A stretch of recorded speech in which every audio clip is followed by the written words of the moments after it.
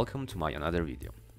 In this video, you're gonna learn how to switch between the volumes and the quantity of your data and how to create that switch button that I'm using now in order to switch between the uh, amount of the sales and the sales uh, volume in terms of the dollars. So the problem can be different in your case, so you might have the different uh, visualization here instead of the bar plot you might have the uh, line graph or some any other problem but it doesn't change at all what is your problem. The things that is important is that you need to create the dynamic buttons here. So let's go and start from the scratch. What we will need here I will bring this one the data. I will bring the data here. So you already have don't think we already have uh, a few days selected uh, for making it easier to work with or even we can use all right i will show you with, with a few days. So what we're gonna need here is the bar plot right? We are bringing here the bar plot and we need to plug in the data here. For instance the data about the quantity we want to see the quantity we want to see the date here and we want to see the sales amount here. So as you see, the quantity is become, becoming so small that it's not even seen in our bar plot, so you cannot get any insight about this. Um, how can we mitigate this problem is by creating that switch buttons. So now I have this switch buttons here, and I'm gonna show you how I created that buttons.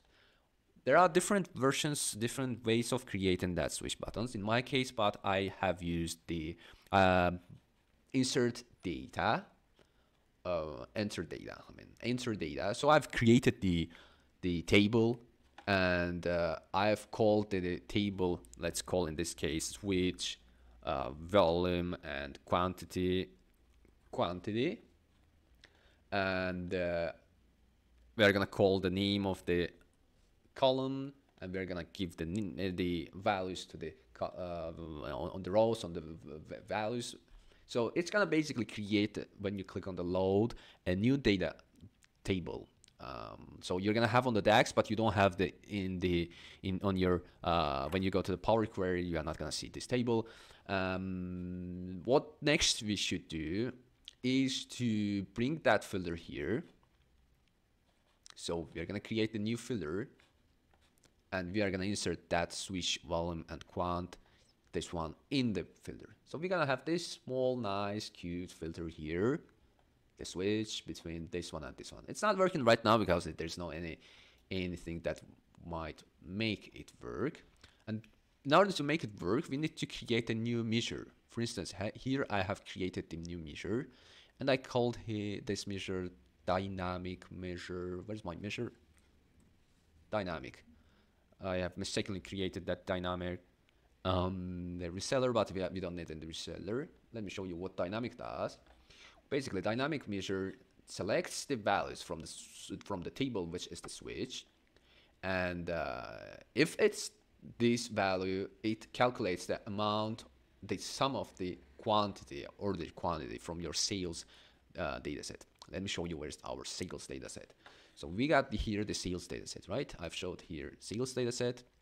And on the sales data set, we have the order quantity and the sales amount. This case, if it's uh, numbers, it, it in, in this case, it gets the sales order quantity and makes the sum of that. And in case if it's not, it's, it's, it's the dollar sign in the switch, um, our switch table. It gets the sales amount. Let me recreate this um, condition on our new measure that we are gonna get. Just click on the measure, click on new measure, and we are gonna give the name to the new measure, and I'm gonna call it dynamic uh, button, dynamic switch, or I'm gonna just uh, call it the measure switch measure, right? Just give it time that it measure switch, switch, switch measure. Uh, so we are gonna write select selected value from the switch wall quantity switch, right? If the value value oh my god, I have clicked the enter button. Now it's gonna download that's gonna say that it's the problematic and so on.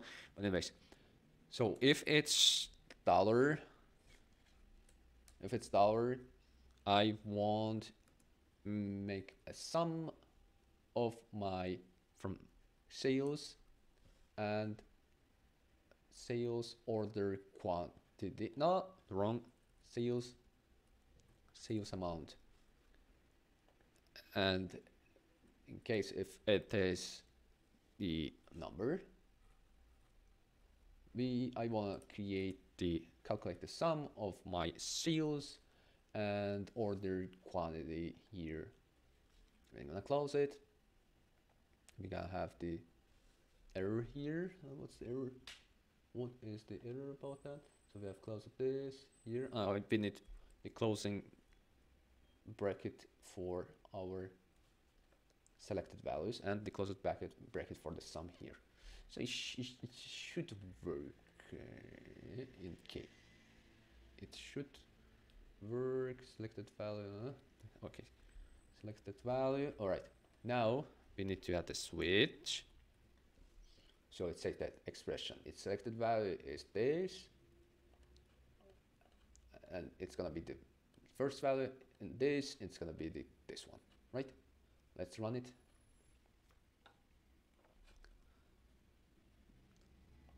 Okay, now we're gonna have on uh, the switch measure.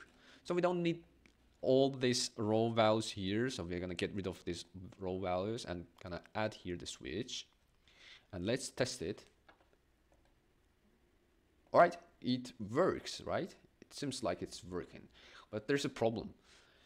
Um, the problem that we have here always the euros showed on the left hand. It's all because on the switch we have the currency and well we can switch to the dollars. Anyways, but it's not a problem. It's not the main problem. The main problem is not that one. The main problem is that we have the dollars for the quantity. How it's possible to have the dollars for the quantity? Like I have I I I have sold yesterday twenty dollars of uh, potatoes. Well, yeah, potatoes that cost one dollars. Anyways, like it's not about the revenue; it's about the quantity. Quantity cannot be measured by the currency. So what we're gonna do, we are gonna create the dynamic measure here.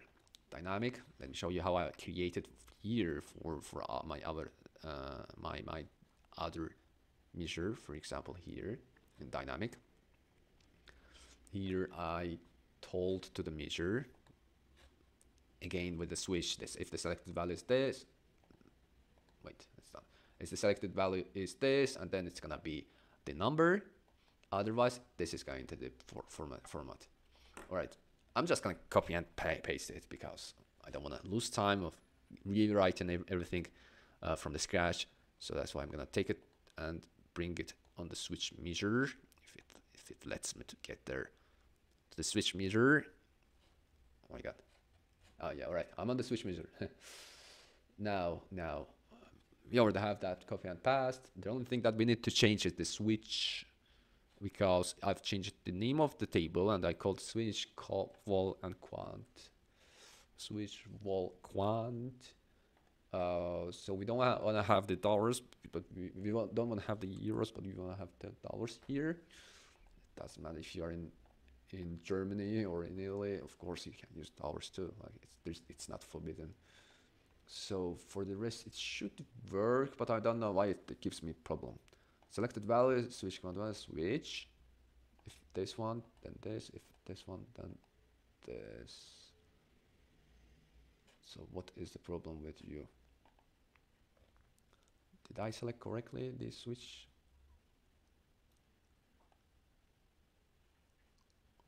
volcano cannot be found.